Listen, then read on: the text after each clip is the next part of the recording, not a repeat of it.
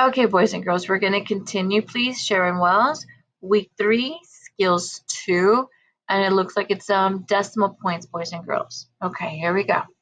Um, there's six. I'll help you with two, but then I'm going to let you loose, okay? All right.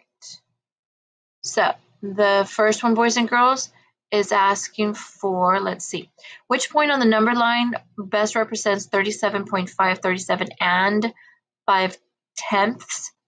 So we can see here, boys and girls, we got a whole number 36 and a whole number 37. There's something in between, okay? So we are looking for a 37.5, so 37 and something.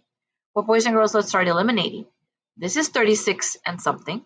No. That's a 38 and something. No. That is exactly 38. No. It has to be this one, boys and girls. And that is the correct answer, X, letter B. And boys and girls, since they only have one marking, that is your 0.5. It's halfway. So this would have been 36.5. That was your 37.5. This one was your 38.5. Okay.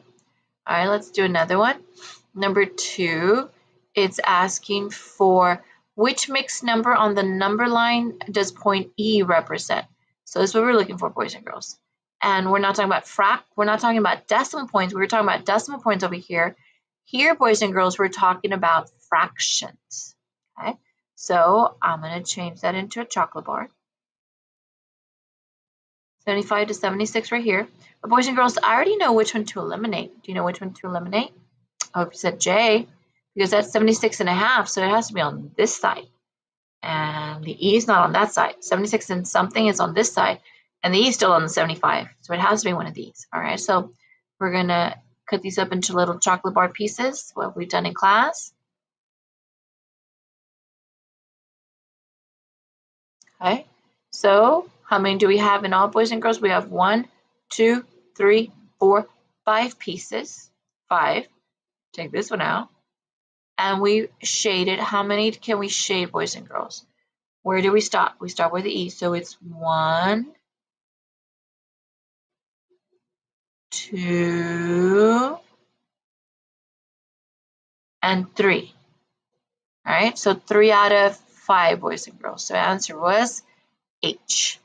Okay, one more together. It says, which point on the number line best represents 17 and 1 fourth? Again, boys and girls, it's just uh, a fraction bar that we're going to create. Um, I already know the answer though, because look at the whole number, boys and girls, 17. Try that again. The whole number, boys and girls, is 17 and something. Well, the M is 15 and something. No, thank you. The M, the N, and the O is 16 and something. Uh, no. Only one boys and girls that's 17 and something is the P. So that's your answer, but we're still going to do our strategies, boys and girls. Okay. So we're going to cut it up into little chocolate bars, chocolate pieces like Hershey's, and the P stops here. So we're only going to have to shade in one little area right here. How many pieces were in all? One, two, three, four pieces. So yes, the P is 17 and 1 fourth. Okay, boys and girls. You're on your own for the other three. Don't forget to submit. Thank you, boys and girls.